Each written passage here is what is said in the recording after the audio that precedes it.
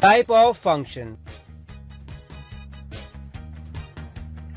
In class 11th, we have studied concept of functions along with some special functions such as identity function, constant function, polynomial function, rational function, etc. We have also studied addition, subtraction, multiplication and division of two functions. Now we will study different type of functions. Let us consider a function f1 from x to y such that image of distinct element of x under f are distinct. Image of 1 under f1 is b. Image of 2 under f1 is a. Image of 3 under f1 is c. Image of 4 under f1 is e. No two elements of x has same image. We can write for every x1, x2 belongs to x.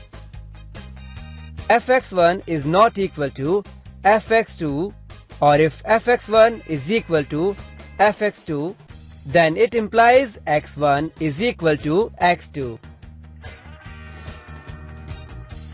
Such functions are called 1-1 or injective. 1 1 means one element has one image.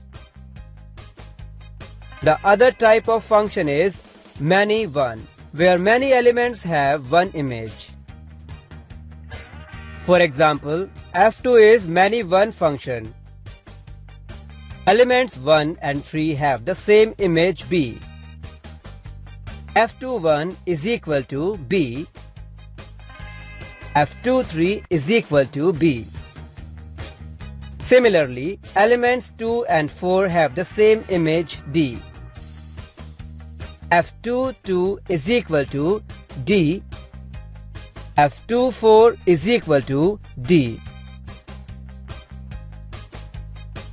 A function f from x to y is said to be onto if every element of y is the image of some element of x under f. All elements of y are image of some elements in x. No element in y is left. It is also called as surjective.